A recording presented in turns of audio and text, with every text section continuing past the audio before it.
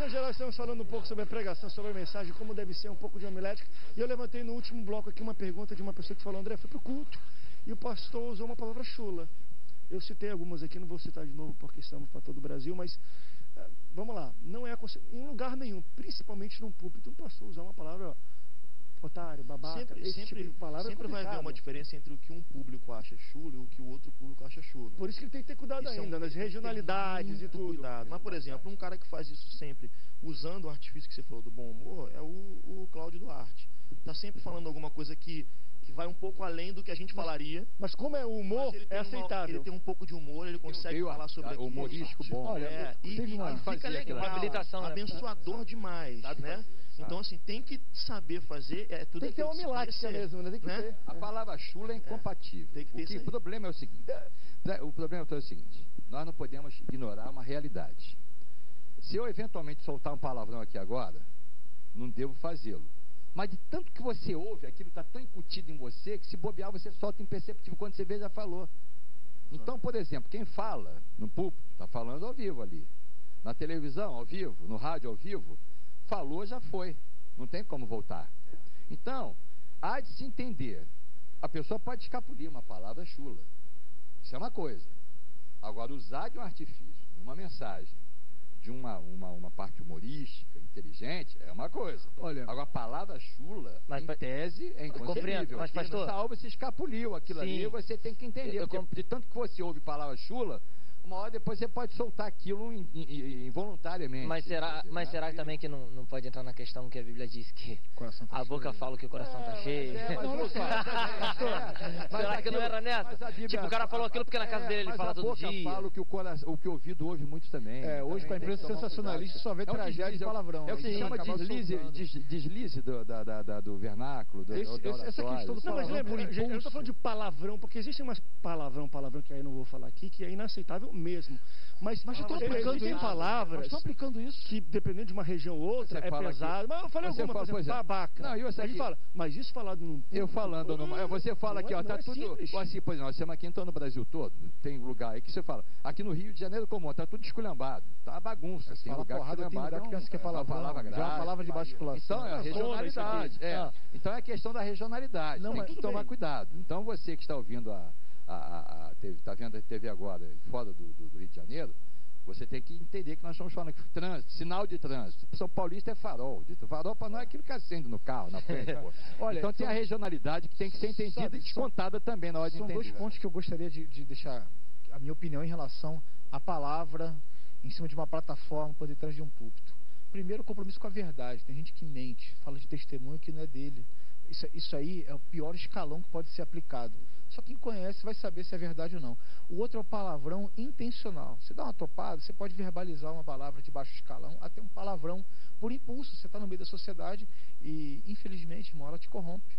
Até a glória, até a- quando nós ficávamos na igreja triunfante, a É, gente eu vai ter dar uma problemas. topada e dar glória a Deus. É, fala- Ô, Glória vai falar em língua estranha, vai falar em língua estranha. Agora, o problema é quando o camarada tem lá uma palestra, uma pregação, seja lá o que for, e tem um palavrão intencional, mesmo que seja para jovem, Para jovem, o cara fala assim: olha, você acha que você é. Pã, que absurdo. Ah, ó, ah, Inadequado, é não inadequado, é inadequado. Não tem, olha, não tem é evangelho, não tem evangelho onde tem isso e tem mentira, não funciona Teve não é uma, assim. teve uma que, que o, o cara deu uma topada na descida do, do, do Glorificou ônibus, de pé. Não, do ônibus. Aí ela, ela senhorinha, ela parou, ela falou assim: Deus te abençoe. Quase saiu, quase sai sangue dos olhos dela. Peraí, peraí, Chegou peraí. Isso pra aí-. Não, não, isso aí é palavrão. Desculpa, isso é palavrão, Isso é palavrão, é Não, não, palavrão. Isso é palavrão. Ela falou um palavrão. Porque o pala... agora Palavrão tá um aqui. pensamento aqui. O palavrão não se caracteriza pela terminologia, e sim pela intenção.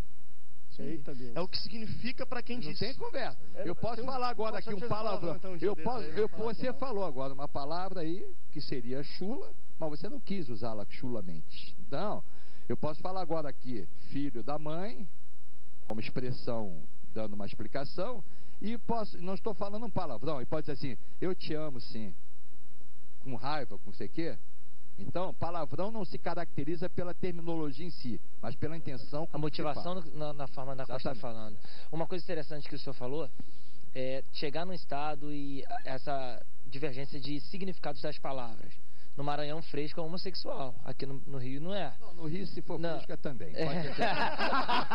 Tipo, o, o- o- eu acho- o que eu acho muito interessante, como E tema é- tange no, no é que- é, algo da, da homilética, é o pregador fazer algo que eu, eu costumo fazer muito. Por exemplo, onde eu vou pregar essa semana que vem? Ah, semana que vem eu vou pregar na Bahia. Eu faço isso. Google, eu es- estudo a história. Converso com as pessoas de lá, ah, vou pregar na Itália, vou ver como é que é, para eu me familiarizar. Eu isso, eu- isso eu aprendi em missões transculturais. Eu tenho que estar preparado para o local da onde eu vou estar Sim. ministrando, para eu não cometer gafes desse jeito e, obviamente, não fechar portas. Algo interessante aconteceu em Portugal comigo mês passado. Eu, pr- primeiro dia de conferência do Somos Some, eu orei por um, por um português e ele caiu no, no chão, endemoniado, e eu me sentindo, né, ah, e expulsando legal. No outro dia, nem ele nem a família dele voltou. E eu, pastor, por que, que não vieram? Deus, pastor, porque aqui, português, europeu, que cai no chão endemoniado, nunca mais ele volta na igreja. Olha o problema. E no Brasil é, é, é top, né, isso. Né? Então, assim, é algo que eu acho interessante. Eu, eu, eu teria, o erro foi meu, porque eu teria que é, estudar antes isso. E é, no- já no outro culto, o menos possível ali do estradalhaço pra... e no outro, no outro culto, quando eu já fiquei sabendo disso, quando o cara ia cair, botava a cadeira. Lá é chique, assim, né? Até pra cair não, é não, não, não, não, não, não. Você tem que falar, seu diabo, não quebra o galho, senão vai ser escandaloso. É? é? Em nome de Jesus, não cai não, diabo. Mas sabe o que é Em nome de Jesus, assim, e às vezes não é questão de falta de ensinamento, às vezes a gafe acontece. E aí é do Oh. pregador saber sair da gafe. Jogo de Quer- quer, cintura. não, quer que eu dê um exemplo? Aí eu vou ter que entregar, eu vou apanhar em casa quando chegar. Eu casei com, uma, com a minha mulher, a Nayane, ela morou nos Estados Unidos durante praticamente toda a vida dela. Foi com os pais, morou 15 anos, ininterrupto, sem voltar para o Brasil. Casamos lá e voltamos para cá. E ela é uma grande pregadora, prega bastante. Quando ela chegou aqui, começou a televisão e tudo, foi convidada para pregar numa igreja na Penha Circular. Um local muito simples e humilde. Como ela do Rio. como ela tem uma visão dos Estados Unidos e ela morava no subúrbio e lá, de fato, a realidade dos humildes é diferente daqui, ela foi para lá e começou a mensagem e tal. E no finalzinho ela foi falar, um, foi dar um pouco do testemunho da vida dela, que é um testemunho até muito bonito.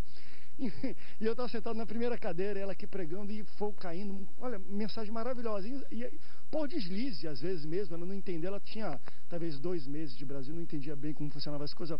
Irmão, não sei o que, porque minha história é assim, tal, tal, tal, não sei o que. Tal, e eu morava em Boston, nos Estados Unidos. Quantos dos irmãos já foram em Boston, nos Estados Unidos? E é um local humilde. Aí eu, Você meu. Deus do céu. E, e ela viu, mas gente, ninguém. Ah, não precisa ir lá não, é muito frio. Então, soube aí, mas já entreguei ela aqui. Acontece gafe. Isso é natural, não tem pra onde fugir. Quando o cara Alô, faz um volta. troço desse, tem que ter até uma boa melete pra saber sair da situação. Senão sim, sim. a taxa fica cara de vermelho e não vai pra lugar nenhum.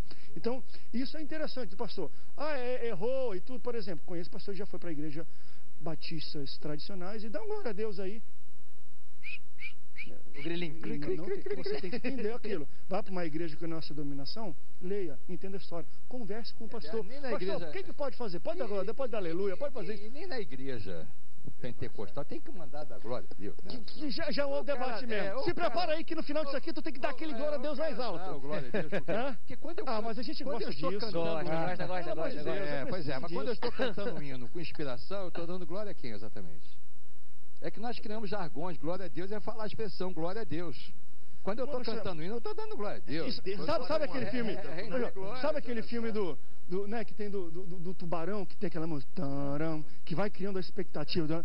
É a mesma coisa na pregação. Olha, prepara que eu vou falar isso aqui no final da glória a Deus. Essa música do tubarão começa a chegar. Quando acaba, meu irmão, glória. faz parte pouco da Você já viu coisa pior no mundo? Que é Eu isso? quero saber o seguinte: vocês já viram coisa pior no mundo dentro da igreja evangélica? Já, eu quero perguntar aos senhores aqui: já viram alguma coisa pior do que assistir testemunho de ex-mãe de santo, de ex-homossexual? É duro. Não, mas aqui uma pessoa que mandou uma pergunta, assim, por exemplo, André, eu, eu sou contra, dentro dessa questão de homenagem, pessoas que fazem. Tá aqui, tá aqui a expressão que a pessoa usou, ah, e eu vou tentar. Aqui eu achei muito interessante. É, é, ah, usar. Deixa eu ver, deixa eu ver. Acho que testemunhos.